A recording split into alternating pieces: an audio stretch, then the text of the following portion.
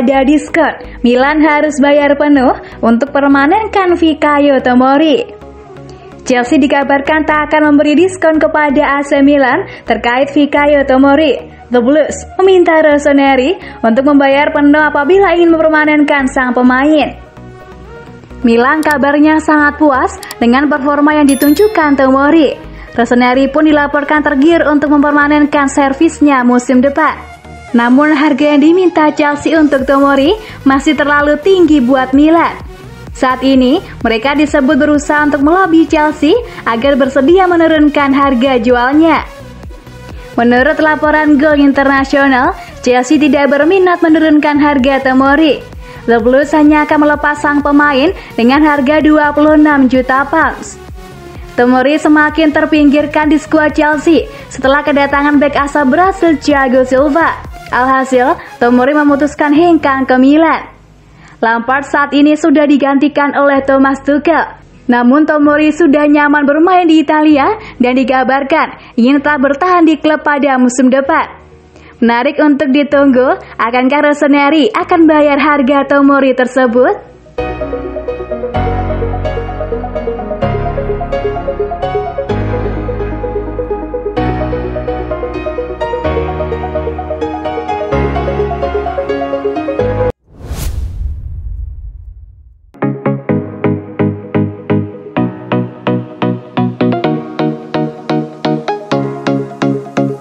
Pakar transfer ungkap situasi tidak pasti AC Milan dan Donnarumma. Pakar bursa transfer sepak bola Italia Gianluca Di Marzio memberi kabar yang mungkin tidak menyenangkan bagi fans AC Milan. Sebab dia menyebut masa depan Gianluigi Donnarumma sama sekali belum pasti. Kontrak Donnarumma akan berakhir pada Juni 2021 dan Milan telah mengajukan tawaran kontrak baru. Akan tetapi, negosiasi berjalan sulit karena Mino Raiola sebagai agen Donnarumma punya permintaan yang sulit. Raiola ingin Donnarumma mendapat gaji 10 juta euro per musim. Milan tidak sanggup memenuhi nilai tersebut dan ingin mendapat kesepakatan yang lebih cocok dengan kondisi finansial klub saat ini. Akan sangat buruk jika kisah cinta ini berakhir seperti ini, tanpa pembaruan kontrak. Buka di Marzio dikutip dari Milan News. Semua orang melakukan tugasnya dan jika dia Donnarumma membuat permintaan yang tidak diterima, itu benar bahwa dia tidak memperbarui kontrak. Namun buruk sekali jika dia tidak menaikkan kontrak baru Imbu Di Marzio. Donnarumma diyakini ingin bertahan lebih lama lagi di Milan. Namun ada juga peluang pindah untuk beberapa alasan seperti peluang meraih gelar juara. Saat itu, kata Di Marzio, segalanya belum diputuskan. Akan sangat mengejutkan bagi saya jika Juni nanti tidak ada kesepakatan kontrak baru, kata Di Marzio. Dalam hal ini, klub harus mendatangkan penjaga gawang dengan level tinggi. Itulah mengapa saya pikir situasinya harus diselesaikan pada awal Mei, sambungnya.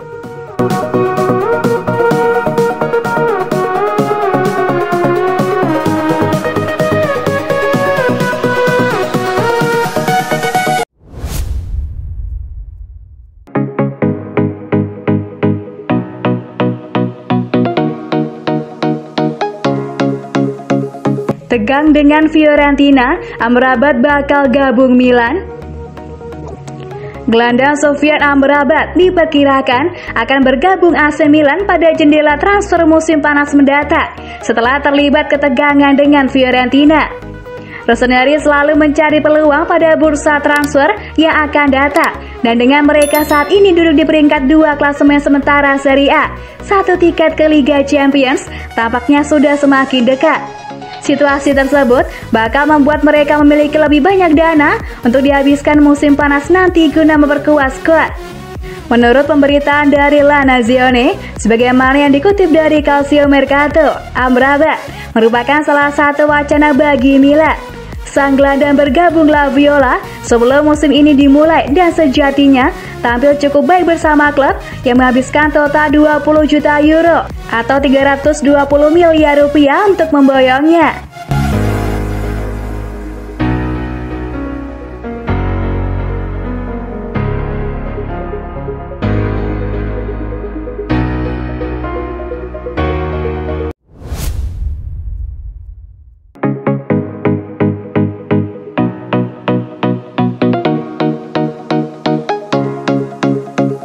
Ingin rekrut striker anyar, Milan lirik Darwin Nunes dan Dusan Vlahovic. AC Milan dikabarkan tengah melirik Darwin Nunes dari Benfica dan Dusan Vlahovic dari Fiorentina. Dengan pihak klub berencana merekrut penyerang tengah baru musim panas mendatang. Sejumlah sumber menyebutkan bahwa Rossoneri ingin mendatangkan striker muda musim depan agar bisa berkembang di bawah arahan Zlatan Ibrahimovic sebelum akhirnya menggeser posisi sang legenda sebagai ujung tombak klub. Daniele Longo dari Calcio Mercato menyebutkan bahwa raksasa Serie A tersebut tertarik pada Nunes yang telah mencetak 4 gol plus 7 umpan dalam 20 penampilannya di Liga Domestik bersama Benfica musim ini. Kini Milan Live menyebutkan, Milan telah mengarahkan radar mereka terhadap striker 21 tahun tersebut sebagai salah satu dari dua target yang tengah mereka upayakan untuk menjadi pewaris Ibrahimovic. Ia merupakan pemain internasional Uruguay dan diperkirakan akan memakan biaya sekitar 30 juta euro atau 480 miliar rupiah untuk menebusnya pada bursa transfer yang akan datang. Namun klub Premier League Tottenham dikabarkan ikut terjun dalam perburuan striker Fiorentina Dusan Vlahovic yang sebelumnya santer disebut diincar oleh AC Milan. Penampilan Dusan Vlahovic ini akhirnya dikabarkan ikut menarik perhatian klub asal London Tottenham. Mereka pun disebut berminat untuk merekrutnya musim depan. Klaim tersebut terlontar dari laporan La Repubblica. Laporan itu juga menyebut Spurs sudah memperhatikan sepak terjang sang striker itu selama beberapa waktu. Ketertarikan pada Vlahovic itu sendiri disebut sebagai akibat dari tak jelasnya masa depan Harry Kane. Striker Inggris sendiri sebelumnya mengatakan ia tak menutupkan pindah ke klub lain. Hal itu bisa terjadi jika Spurs tak kunjung meraih trofi juara. Kane sendiri sudah dikaitkan dengan banyak klub seperti Manchester City dan Manchester United.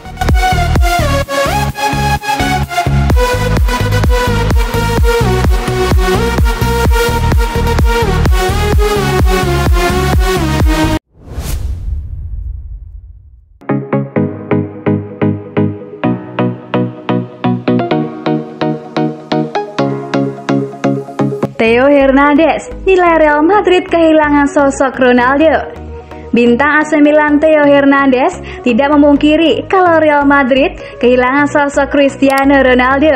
Namun ia yakin kalau mantan timnya itu pada akhirnya bisa menemukan pengganti sang superstar. Cristiano adalah pemain besar. Dia telah memenangkan segalanya dan tidak menurunkan level ambisinya, kata Hernandez kepada AS. Absennya pemain seperti itu selalu terlihat. Konon, klub-klub besar selalu memiliki kemampuan untuk kembali ke tempatnya. Ronaldo belakangan ini mulai dikaitkan dengan kepulangan ke Real Madrid. Theo Hernandez mengaku tidak tahu apakah transfer itu bakal menjadi kenyataan. Saya tidak tahu, lanjutnya. Mantan pemain Real Madrid lainnya yang hengkang ke klub Italia adalah Angkraf Hakimi. Theo Hernandez mengaku punya hubungan yang bagus dengan pemain Inter Milan itu. Kami adalah musuh di lapangan tapi berteman di luar, bebernya. Dia adalah pemain hebat, saya mengenalnya dengan baik, dan kami memiliki karakteristik yang serupa. Kami adalah pemain sayap yang sangat ofensif.